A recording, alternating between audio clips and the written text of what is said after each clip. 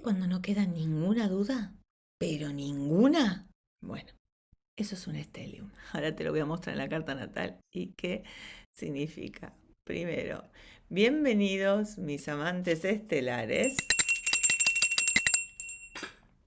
Mi tribu de gente rara a estelium en la carta natal. Es una palabra hermosa que representa esto que se ve de esta manera. Sabes que tenés acá en el canal cómo obtener el gráfico de mi carta natal gratis. Eso ya sabes que lo tenés. A ver, acá está. Una acumulación de astros en un área de vida o casa, que son estas porciones de pizza, o en un signo. En este caso, esta persona lo tiene el Sol, Marte, la Luna y Mercurio en el signo de Libra y además en la casa 11 tiene un estelium de signo y de casa. A veces se da que aquí podría estar esta liñita en el medio, es decir, estaría en dos casas, por lo tanto no sería un estelium de casa, sino solo de signo. Y a veces se da que están dos signos, pero en una misma casa, entonces es un estelium de casa y no de signo. ¿Qué significa eso? Bueno, que esa área de vida toma relevancia notoria, que si no resuelve los conflictos que se le aparecen en esa área de vida, es como que no puede salir adelante y se repiten una y otra vez, ya sea porque lo trae desde la astrología kármica de vida pasadas, de la astrología evolutiva, un arquetipo presente en un porcentaje muy grande en la persona, desde la astrología que tiene en cuenta la eh, astrología todo lo que viene eh, de eh, las em, constelaciones familiares y demás. Entonces, eh, lo que trae es una atención sublime en eso. ¿Mm? Por lo tanto, no puedo obviarlo. Si es en un signo, las características de ese signo van a ser notorias.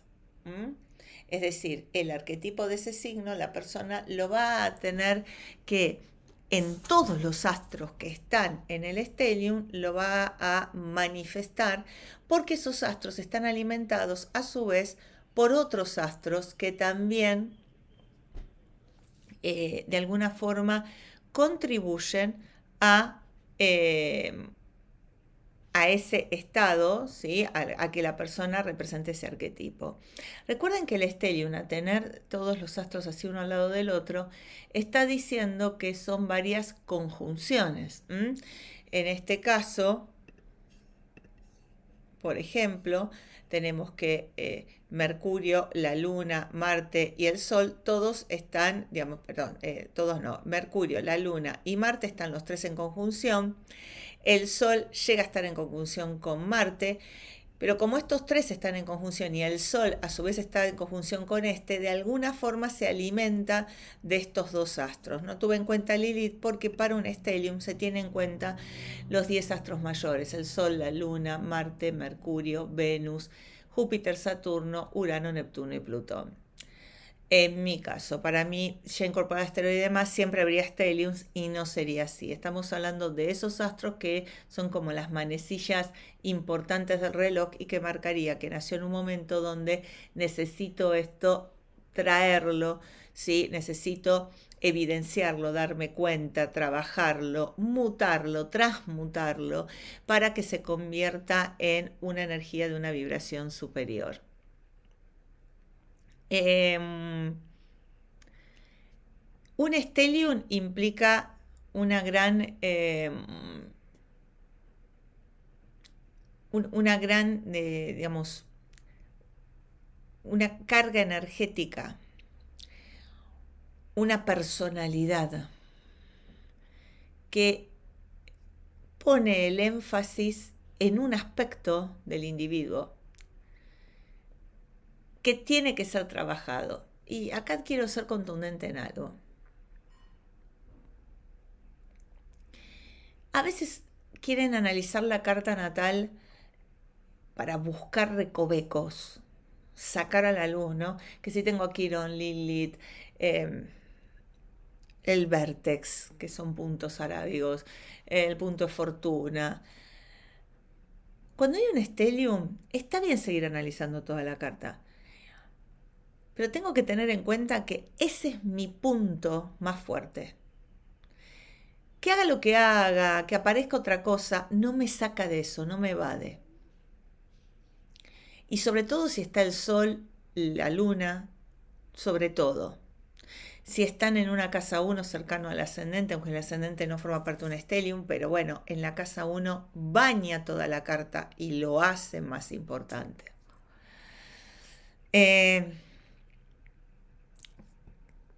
yo le diría a esa persona que está bien escuchar que el vértex, que otros astros, sí, pero siempre lo tengo que llevar ahí. Es como un agujero negro, todo cae ahí, ¿no? No, no, puedo decir, ah, bueno, pero tengo esto y lo divido o lo saco del stellium. No. Es un agujero negro, una gran concentración, una densidad enorme de energía que tiene que ser atendida, que tiene que ser visible, porque fue invisible insisto, depende de la rama de la astrología que vengas, de vidas pasadas, de aspectos kármicos. Entonces, yo diría que mm, necesita su atención.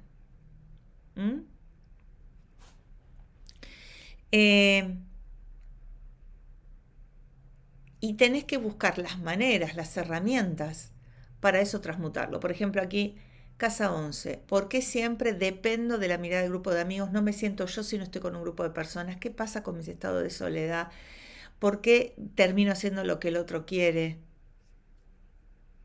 Y por más que vaya a ver cuál es el ascendente, bárbaro, sí, eso me puede dar referencia, un marco, herramientas, pero tengo que terminar preguntándome eso, haga lo que haga. ¿Mm? A veces la respuesta es tan evidente que no la quiero ver. ¿Mm? Así que, bueno, en la comunidad Escuela de Ovejas Negras trabajamos esto cuando vemos los análisis de la carta astral. Hay que ver quién es el caballito de batalla, el que tira todo el estelion. Hay que ver en qué signo, el regente ese signo, si está en el estelion o no. El de la casa también. Si no está el sol, ¿dónde está el sol? La luna, por supuesto. Hay que analizar todo. Pero bueno, es un aspecto sumamente interesante, depende en qué signo, cómo se va a ir desarrollando la energía, todo eso en la comunidad Escuela de Ovejas Negras lo voy dando, pero es importante que veas, más allá de si tenés este aspecto o no, si tenés un estelium, lo primero diría yo.